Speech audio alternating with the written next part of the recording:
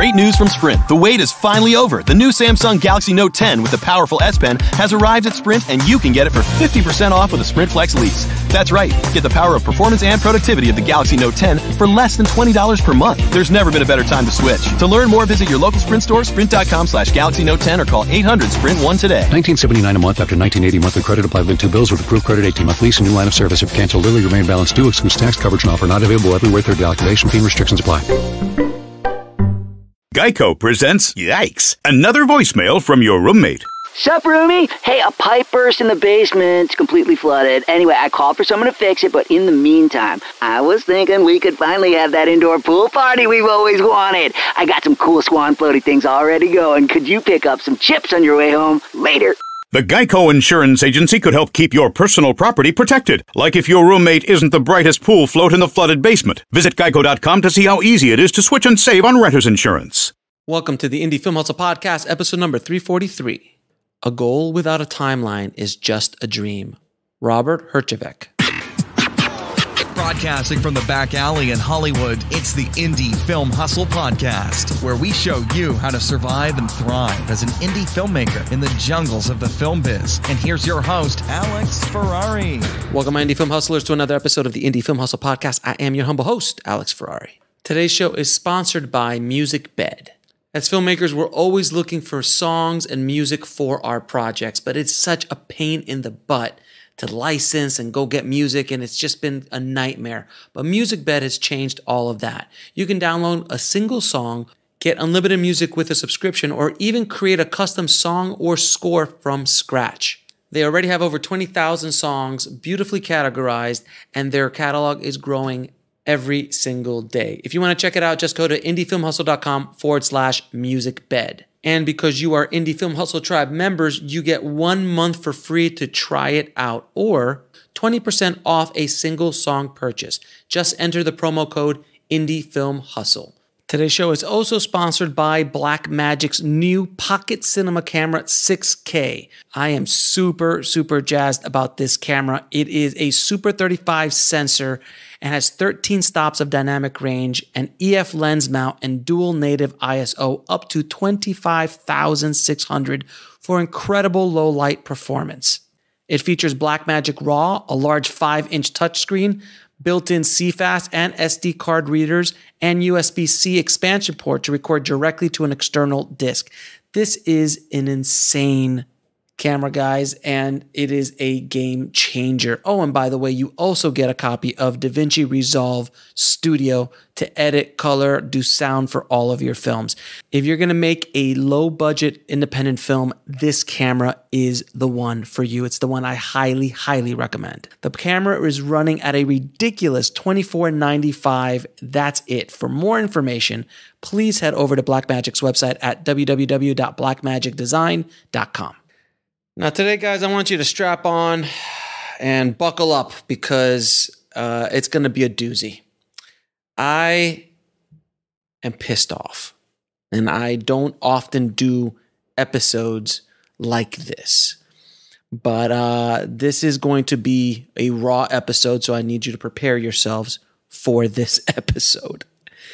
The last time I did an episode like this was episode 88 or it was called "Why Are F- Why Are Filmmakers So Effing Broke All the Time and What They Can Do to Fix It." And if any of you have heard that episode, which I'll leave in the show notes, a link to it, it's me for an hour going off about what I was just really upset about and really hoped it helped a lot. And it is uh, it's one of the most popular episodes I've ever done on the show. But today, I'm going to talk about the dark underbelly of film distribution and that also includes self distribution as well.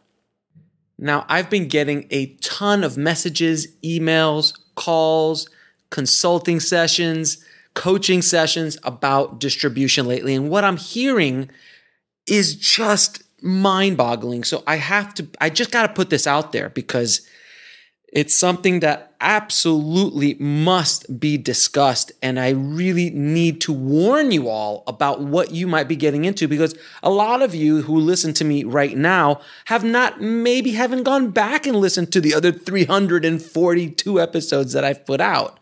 And a lot of in, within that world of content, there is some of this information, but I'm going to distill it down for this this episode in regards to film distribution. The legacy model of traditional film distribution is completely stacked against the filmmaker. Understand that when you're walking in. If you're going to make a deal with a traditional distributor, you need to be very, very careful. Now, am I saying all film distributors are evil and blood sucking and bottom dwellers? No, not all. I'm going to actually give you uh, a couple of resources at the end of this episode, which are good distributors and what to look for in a good distribution contract for independent film. But with that said, is the majority of the film distributors that I have been either in contact with or filmmakers that I've worked with, known, or heard of have been con- in contact with, have they been bloodsuckers and people who are just plain, some of them are just plain evil? Uh, yes, a lot of them have been. And it is built on this model, this legacy BS model that was started back in the olden days of Hollywood, where filmmakers could only go through a distributor to make money. And that is, in today's world, not true. It's not true. Depending on your budget and what you're trying to do, there are options without question. But this legacy model is literally stacked against you. It's like playing craps at a casino. You might win once or twice, but you're always go- the house is always going to win and the distributors are the house. And we are the poor gamblers praying that when we put our film on red or our chip or our money on red and we spin that wheel that it's going to come up in our favor. And it doesn't. More often than not, it doesn't.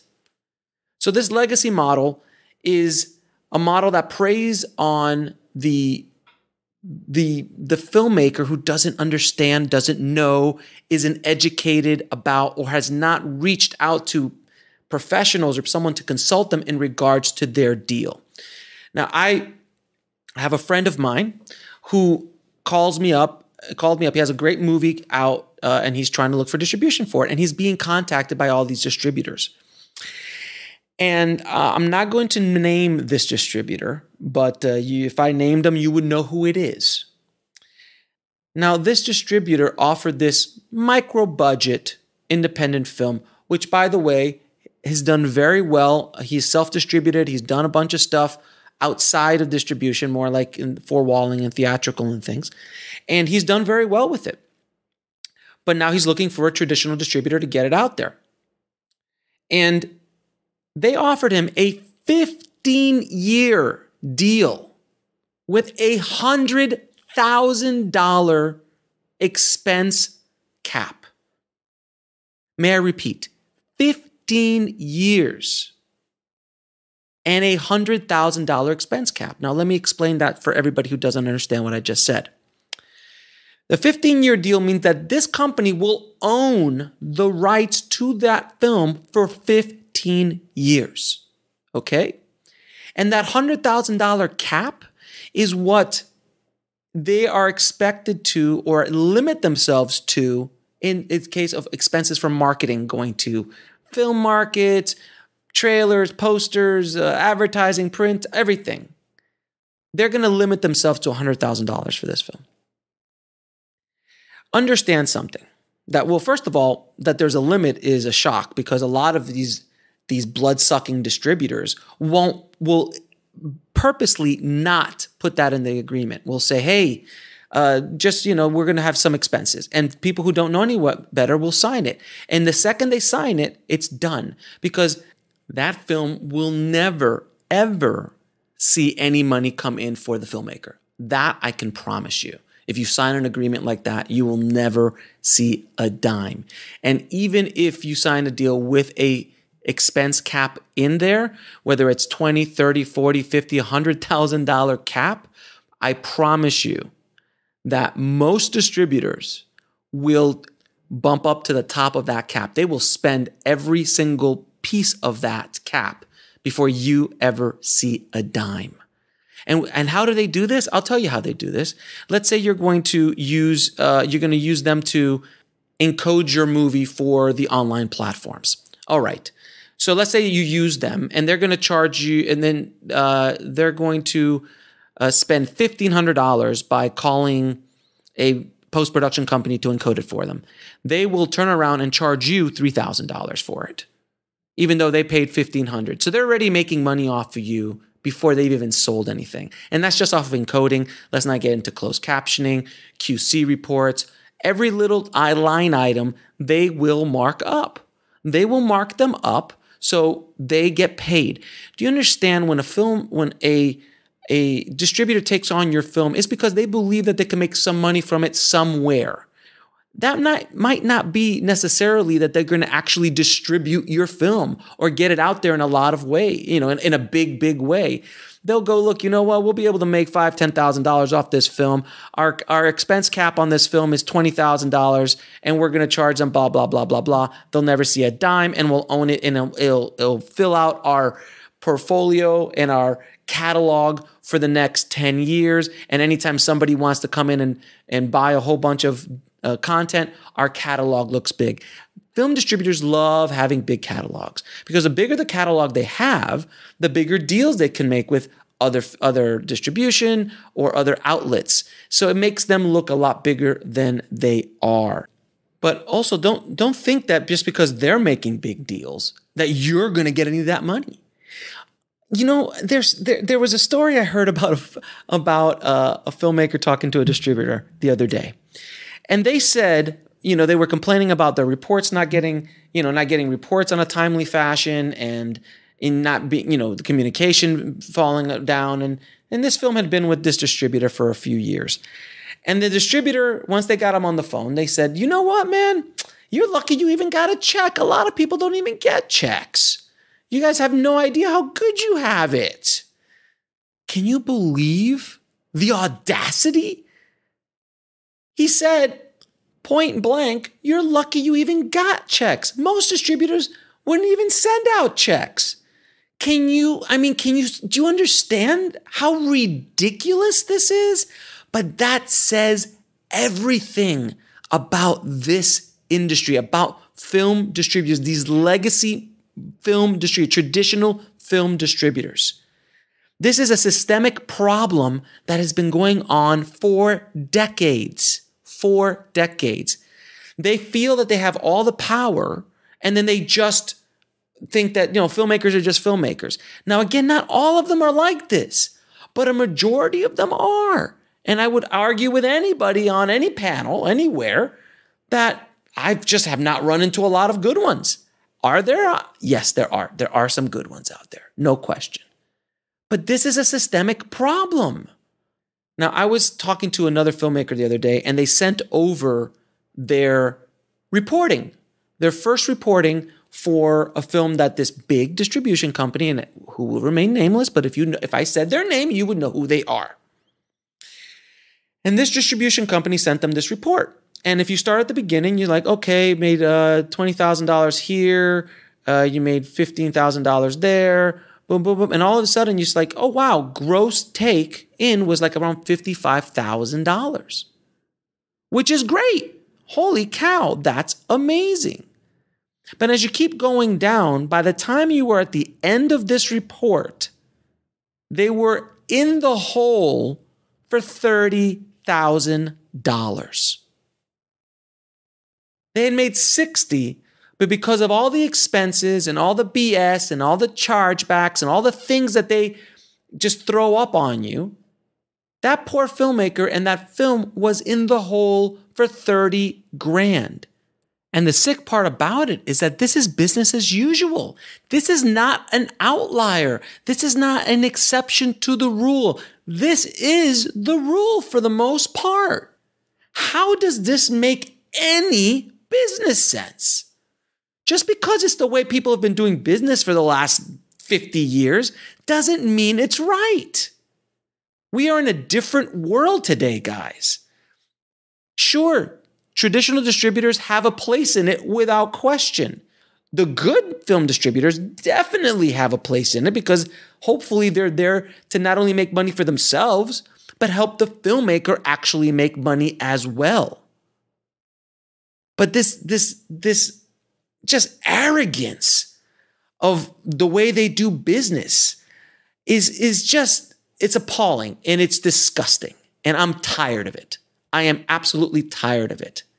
I was talking to, uh, at AFM, I was at AFM a few years ago, and I was talking to a, a film distribution executive, and this is what they basically told me.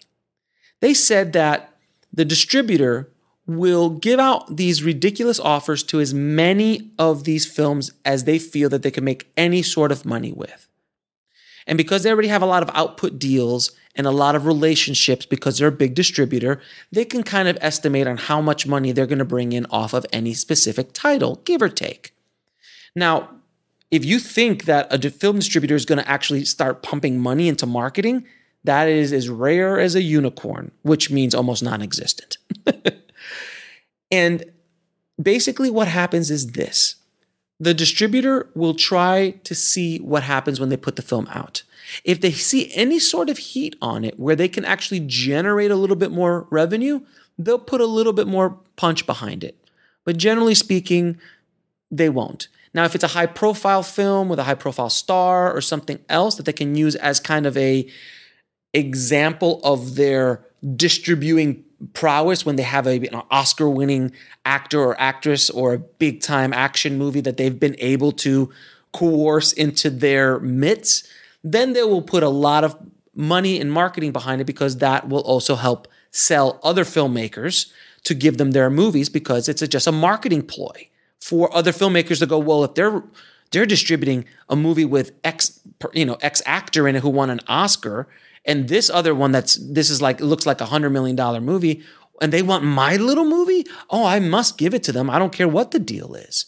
It's part of the game, guys. Understand that. So the executive continues to tell me that out of 10 or 20 of those, one of those they'll probably put a little energy into, if that. And the rest of them will they'll just throw up on all the platforms. And if they get no bites, and if they get no uh, no action anywhere else other than on the digital platforms, which anybody can put every, everything up on digital platforms, then it dies. It dies. They won't do a thing because they've got another crop of brand new films coming in next month. And that's the way the cycle goes. If you can't make money for them, don't expect them to get them on the phone. Don't expect an email back. Don't expect quarterly reports, generally speaking. It's just not the way the business is run. It is horrible. It's disgusting. And I'm I'm just honestly tired of it. So that's why I'm doing this episode. I want to really just put it all out there and hopefully, just hopefully, this episode will help and save a few filmmakers out there.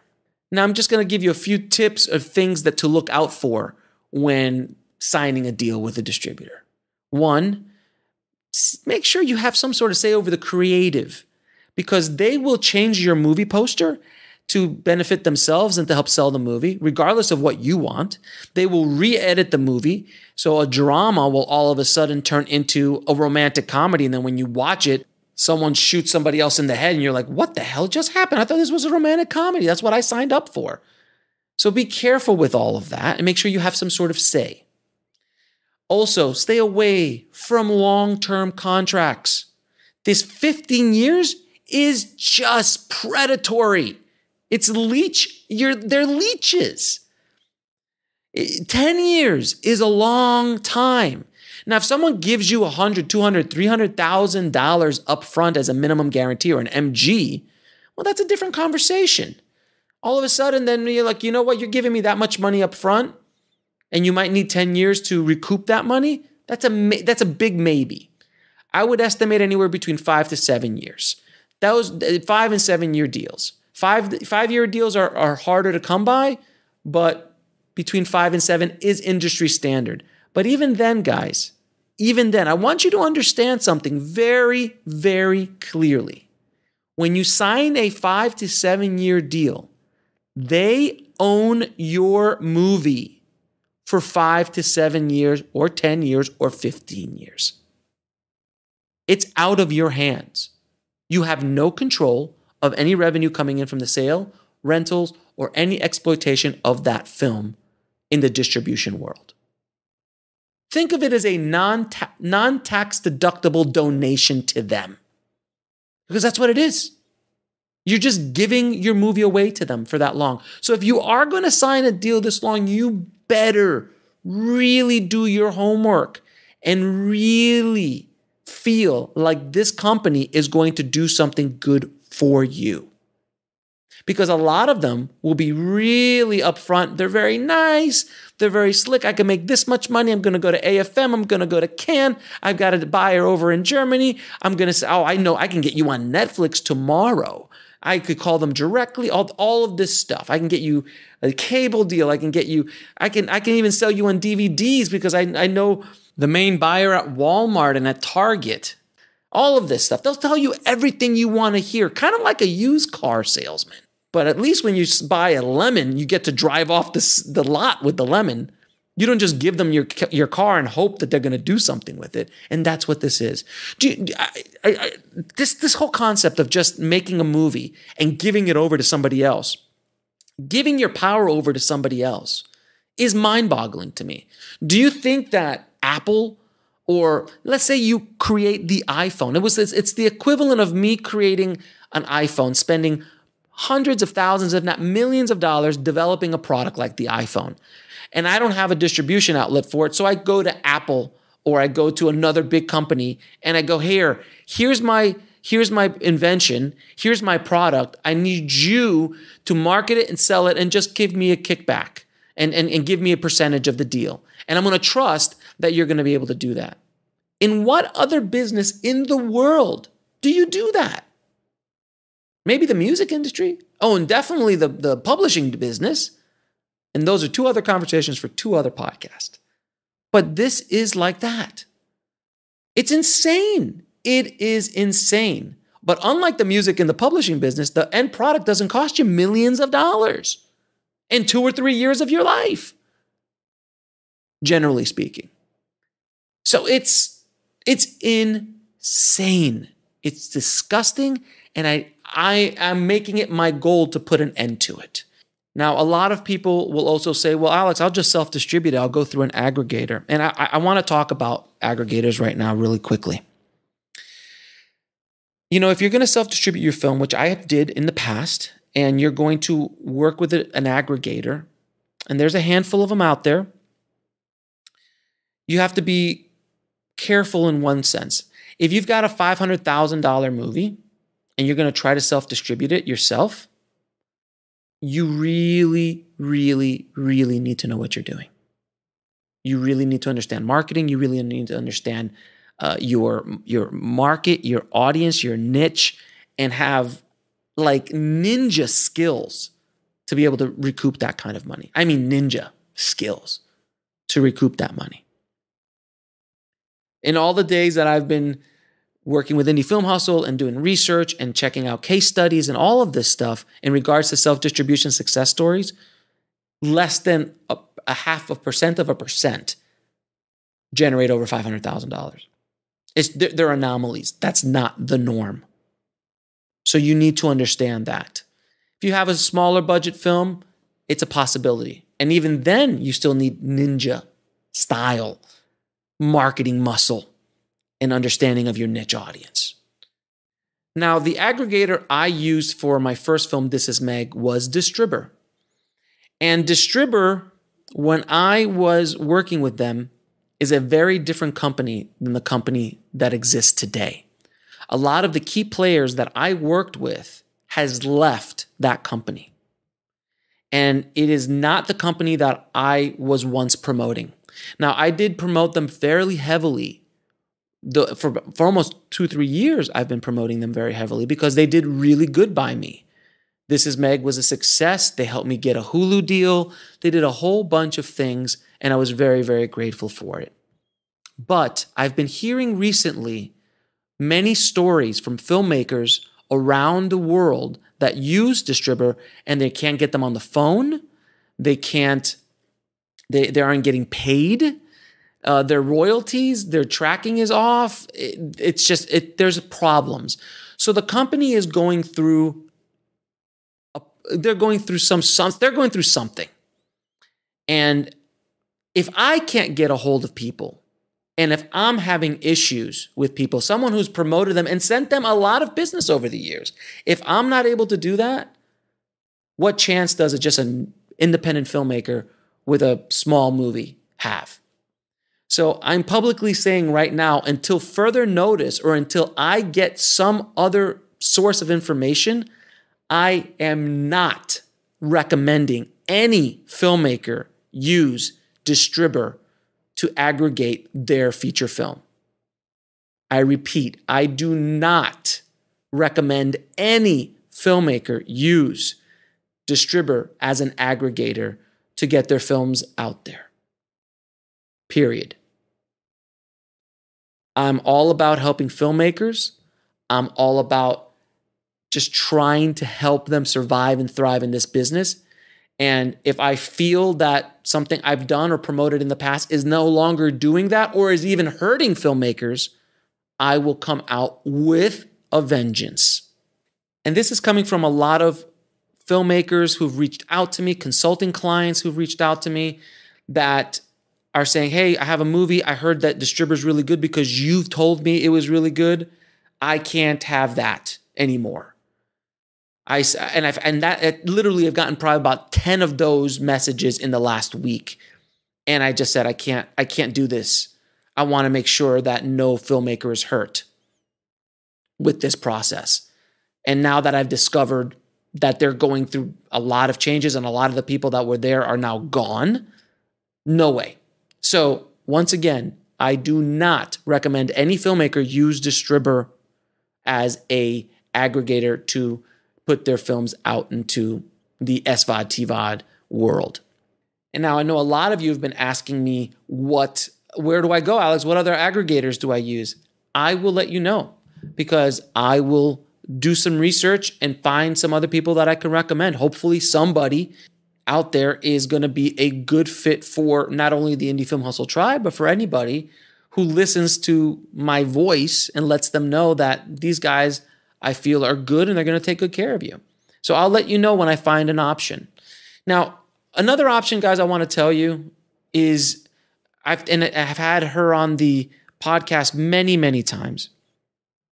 If you have a movie of a certain budget range, Indie Rights is by far one of the best deals in town for a traditional distribution company. And they're really not even a traditional distribution company. They're so they're so wonderful and outside the box. They kind of they kind of um, don't fit the model of a distributor.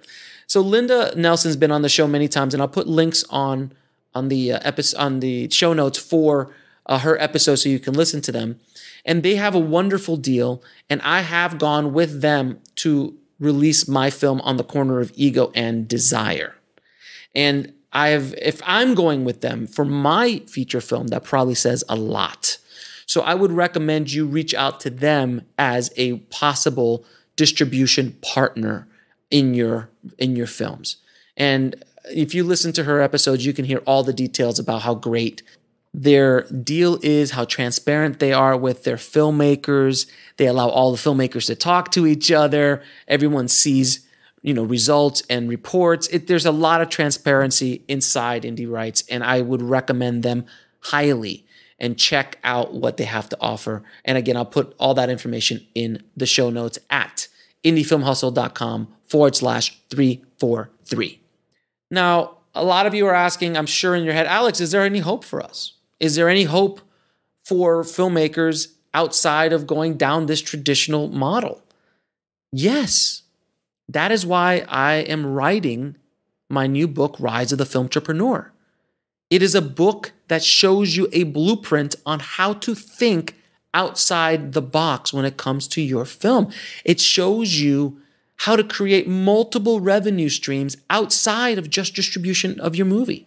There is multiple ways you can make money with your movies. And some in some cases that I put in the book, they make tons more money off of things that are outside the movie. that they actually give the movie away to generate sales for their other product lines. There is hope, guys. And that's why I opened up filmentrepreneur.com, the podcast, and why I'm writing this book. And hopefully the book will be out sometime in October, if not early November.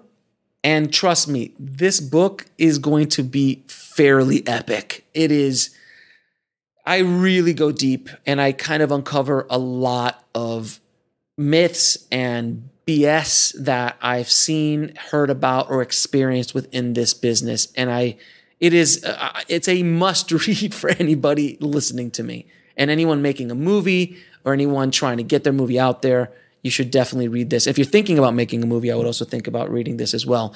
And th- that's another thing, guys. So many filmmakers like, I just finished my movie. Okay, now I got to figure out distribution. No, no. You need to figure out distribution when you're in pre production of your movie.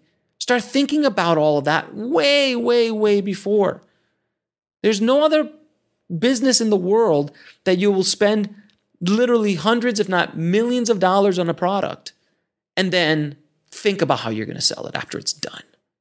Nobody does that. That's not good business sense, guys. So think about your distribution. Think about other revenue streams that you can create off of your film. And again, I'll go into all of that in the book. And if you want to pre order the book, just head over to filmbizbook.com. That's filmbizbook.com. And you can pre order it there. It already hit the number one on the bestseller list on Amazon for filmmaking books. So obviously, there is a need for this. And I really hope that this book provides you an immense amount of service and helps you on your filmmaking path. I hope this episode helped you out a lot. You know, I just am just tired of hearing these stories and these horror stories of filmmakers just taking getting abused and abused and abused by by by distributors, by these predatory distributors. And that's exactly what they are. They are predatory distributors. I mean, I can't even tell you. I wish I could tell you my stories and my horror stories of distributors I worked with years and years ago before I even opened up Indie Film Hustle. And I could tell you horror stories then. It's just it's it's fairly disgusting. And I really do hope that this episode has helped even just one filmmaker not make that mistake. Because when you make that mistake, guys, and you make a bad distribution deal, what are your chances of making another movie? And that's where the heartbreak happens. That's what this business feeds on. It feeds this business cannot run without the fresh blood that these leeches can suck off of every month. So now everybody's making movies. Everyone's coming in. There's new product. There's a gluttony of product in the marketplace. So they have their pick of the litter. They can do whatever they want. They can be as abusive as they want because they have all the power, or so they think. There is another way. There is hope. And hopefully, this episode has helped you move into that direction. And if you haven't already, please go check out my new website, filmentrepreneur.com, or you can use filmmakingbusiness.com. It'll get you there faster if you can't spell filmentrepreneur. And check out the podcast, check out all the content that I'm putting up there weekly. It's a real good resource for filmmakers uh, trying to figure out another way to make money with their film. Actually, turn your movies into a business and not solely just depend on film distributors for the income and the revenue streams from your movie. There are other options. So thanks again for listening, guys. As always, keep that hustle going, keep that dream alive, and I'll talk to you soon. Thanks for listening to the Indie Film Hustle podcast at indiefilmhustle.com. That's I N D I E F I L M H U S T L E.com. Great news from Sprint. The wait is finally over. The new Samsung Galaxy Note 10 with the powerful S Pen has arrived at Sprint and you can get it for 50% off with a Sprint Flex lease. That's right. Get the power of performance and productivity of the Galaxy Note 10 for less than $20 per month. There's never been a better time to switch. To learn more, visit your local Sprint store, sprint.com slash Galaxy Note 10 or call 800-SPRINT-1 today. 1979 a month after 1980 monthly credit applied with two bills with approved credit 18 month lease and new line of service. If canceled early, remain balance due. Excludes tax coverage and offer not available everywhere. Third activation fee restrictions apply.